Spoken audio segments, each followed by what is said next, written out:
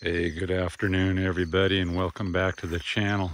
I'm going to head into the shop here in a second, show you what I'm working on today.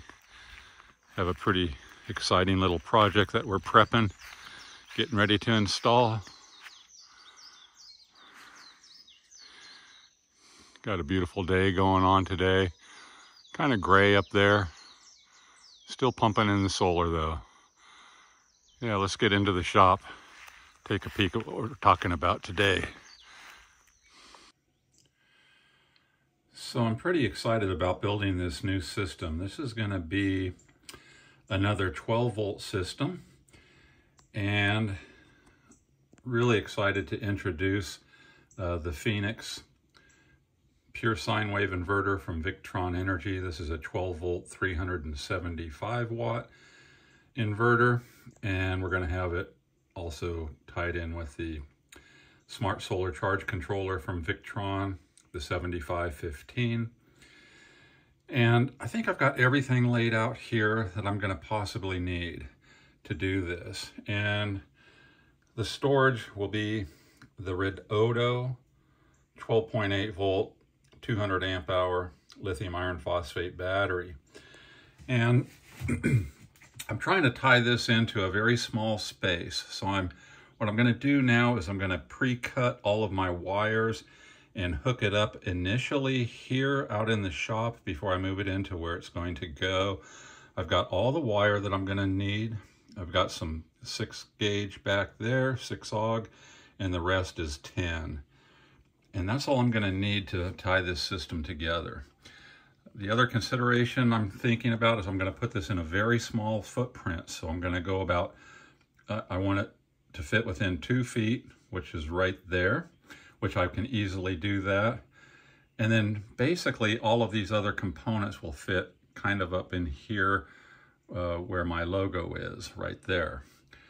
So yeah, I'm really excited about this uh, Phoenix inverter it has an eco mode on it where when it's not being used in the stand and then it's in the standby mode, it should draw less than one watt of power. So that'll give me the ability to leave this system on all the time uh, without really touching the battery whatsoever. So really excited about that. And I want to kind of run it on this system because if it does uh, do that, like it says, and I've talked to a few of you that have said that sometimes you've had trouble uh, in the eco mode of getting it to recognize, uh, you know, when to power up, uh, depending on what you're running. So this is going to be a little bit of an experiment because if it does, for the uh, application I'm going to put it into right now, if it does just go down to that eco mode and hang out there at like one watt or less while it's on, then I'm going to probably move this to use it to run the refrigerator because the refrigerator that I'm running never draws more than 200 watts. And in fact, it only draws 200 watts uh, when it's in the defrost mode. So if I could get this tied into the refrigerator system, and then all of the times in between cycling uh, on and off, it just drops down to one watt as opposed to closer to one amp. Uh, in the course of a week or a month, that's going to save a ton of power on the refrigerator system. So I'm going to give it a whirl in this other uh, room. I've kind of got the house built into three zones now. So this, this will be another zone of the house that will be independent.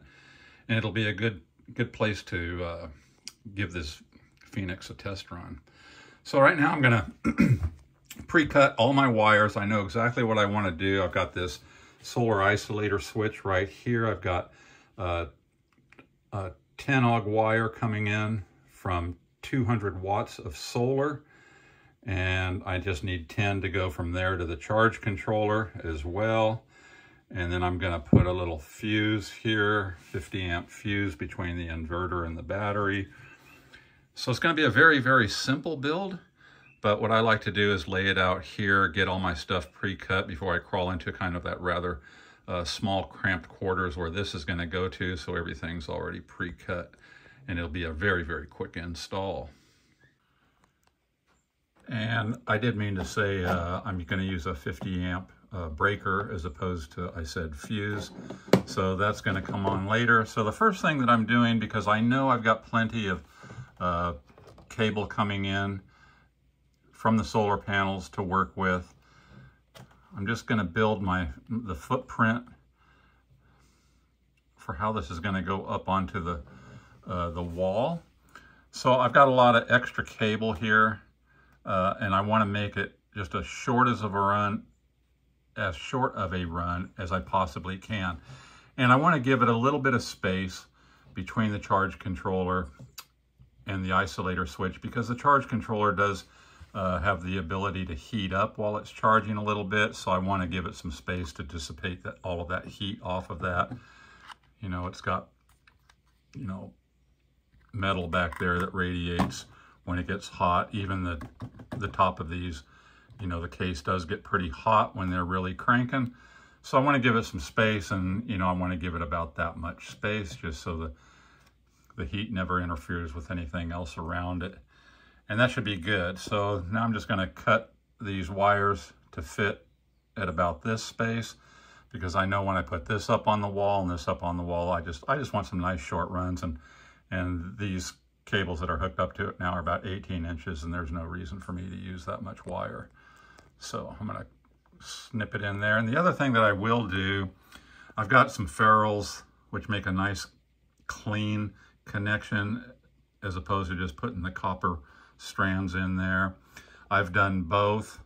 Never really had a problem doing it this way, but I will put some ferrules in before I mount it permanently. And I'll show you probably on the permanent installation what that looks like. But for right now, I just want to get all my wire sizing uh, and lengths cut to specifications for the project. Okay, that was super easy and super quick. I ended up cutting about six inches off of uh, what we had here. So I've got, oh, probably approximately 10 or inches or so to work with. This is about how I want it to look on the wall. So that's just right. I don't mind having this much wire. Gives me a little flexibility in exactly where I will mount it. But that's about the distance I want.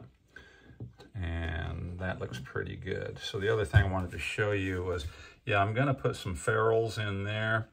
Uh, this particular size charge controller does not accept anything that I've got for putting a ferrule on 10, 10 gauge wire there. It's just, they're too big and they won't fit in those little holes. I've always had that problem with this size charge controller, but it works fine just putting the, the, the copper wire in there. It cinches down nice and tight. So that's about roughly what I wanted it to look like. Um, I did put just some foam over the battery terminals, even though they have a cap on them, just in case I slip. I don't want to make any kind of contact with those things while I'm doing this layout. So anyway, I know that that's about how I'm going to want it on the wall. I got a little flexibility to move this around. If I wanted to put it like over here and then tie those solar uh, panel cables into there, but just enough flexibility in that length to work with the installation. So now I'm going to do the same thing with, with this very uh, long, it's over two feet here. And I'm going to cut that and we're going to go on the battery side of the charge controller uh, for the terminal connections. So I'm going to cut those real quick. Okay, I've got the battery cables hooked up and as you can see the blue light flashing on the charge controller. I did just hook it up to the battery just to make sure that everything looks good and is working okay. Of course, there's no solar coming in at this point, so I have the switch shut off. And one of the things that you want to remember is when you do power up your uh, Victron or any charge controller for that matter, you want to uh, connect the battery side first. When you know that's all working right, then you can go ahead and flip your solar panels on. But you want to make sure that it gets energized first with the battery. And then if I just drop down to the uh, Victron app, as you can see, there's uh, zero watts coming in for that charge controller. And it's sitting there at a resting voltage of 13.42. This battery hasn't been used for a while, been sitting on the shelf, but it's going to go back into production now. So yeah, so it's looking good. And you can see I still have it named outdoor charging station from in previous videos, that particular charge controller.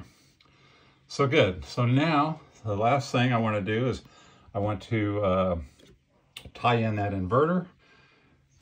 And the other thing I wanted to mention is like all of these uh, pieces of copper that I've cut off, you know, I save every little bit because you know, these can be used for shorter runs. When I cut off this, you know, what did I, took off 15 inches or so of these longer runs. And now what I've done is before I hook this up, I did kind of lean it up against the wall and see that everything's going to fall into place. So now I know I've got all my wires cut. I cut the positive a little bit longer just because when it's mounted, it'll be a little bit longer run to the positive side.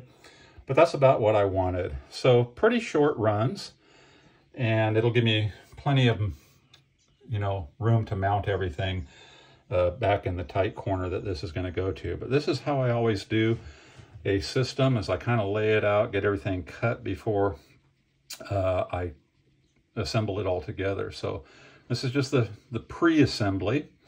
And then what I'll do is I'll just uh, disconnect everything, haul everything back to where this is going to go, and, and I know everything's already cut to fit.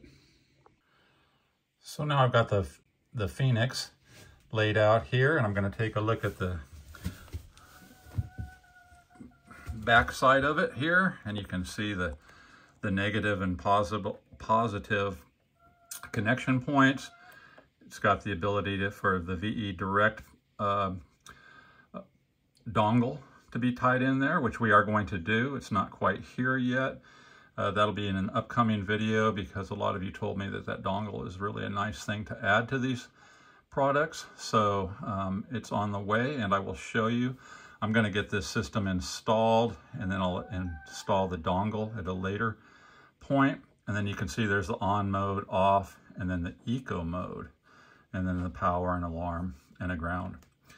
So and that green one is for uh, remote monitoring, it says. So now I'm going to go ahead and cut the uh, that 6 gauge wire to fit here and take this to the battery with that uh, 50 amp breaker in between the positive run. Okay, this went together real well. Uh, right here, they take a real nice bite onto the copper, a little over half an inch, so you can get a real nice snug fit in there and plenty of good uh, bite on those strands. And I've already got my shrink wrap slid in there, so when I disconnect this, I can go ahead and tidy that up with my shrink wrap. Got it on the same thing. I did cut the positive and put that 50 amp breaker like I said I wanted in there. And we've got that tied up.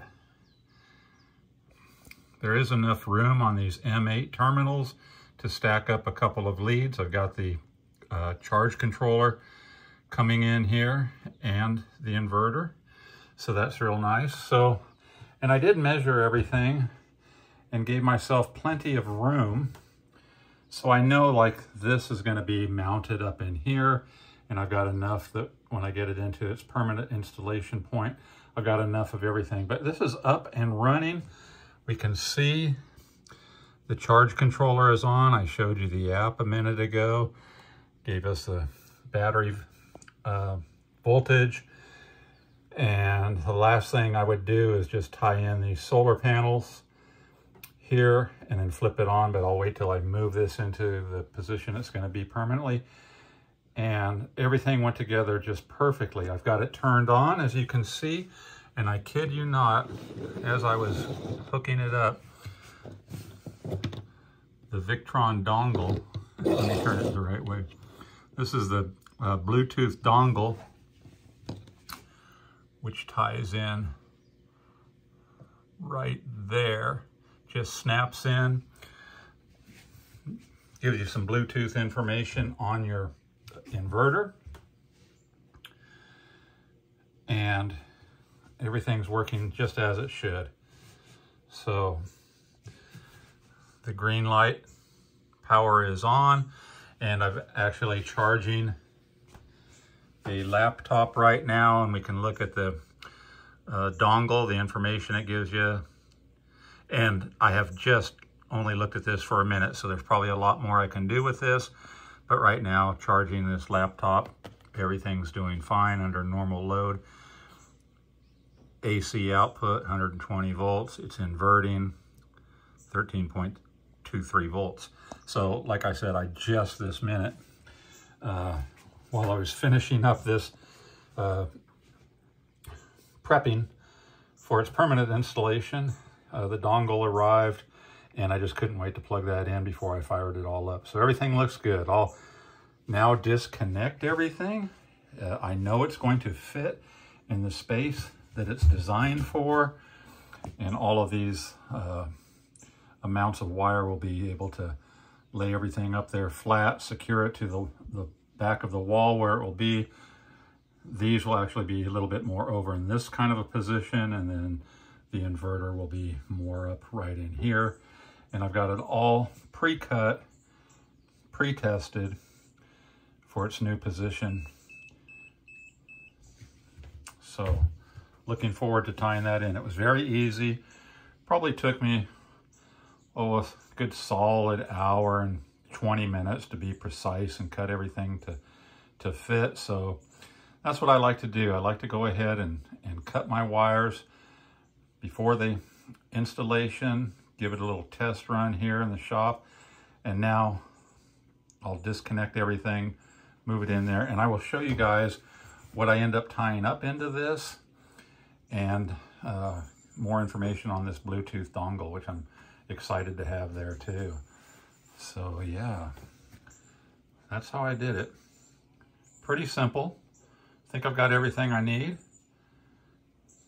Should be just a fine little unit for what I'm thinking about. And like I said, I'm thinking I may end up making that the refrigerator inverter, uh, especially with that uh, eco mode. Yeah, this is all I know about the dongle right now. It says everything's operating normal. I'm guessing that on further investigation, I'll get a load percentage uh, in there. But like I said, I just now plugged this baby in. So I'll figure the dongle out be, before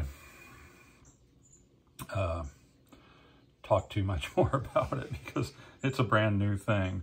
But a lot of you guys said these units work well with the dongle. So I've got the dongle now. I will explore the dongle. so that's it. That's my little uh, prepping for a permanent installation was just to get all those wires cut. It's going to make a nice little system. I already have the solar panels out there in place and the wires right up to where they're going to uh, feed into this unit. So nothing left to do but disconnect everything here, move it all into its permanent uh, position and then reconnect it and it should go really quick for that. So uh, I will show you what it looks like in a, in a future video. Pretty easy. Yeah, I think that's all I can think to say about what I did here. Yeah. Yeah, I can't wait to see it in operation. I will say that there's absolutely no noise coming out of this thing whatsoever. And it is charging, so yeah, we will explore further. I like that little system already. Alrighty. Hey, thanks as always for tuning in, everybody. Can't wait to show you what that little system looks like up and running, but I just wanted to show you what my prep looks for before I ever uh, build a system. I like to lay it out, and that one's small enough I could just lay it on a tabletop and get it all configured, so that's how I like to do it. So when I get ready to tie that up in the next couple of days, it'll go together as it should. All right, catch you on the next one. Aloha.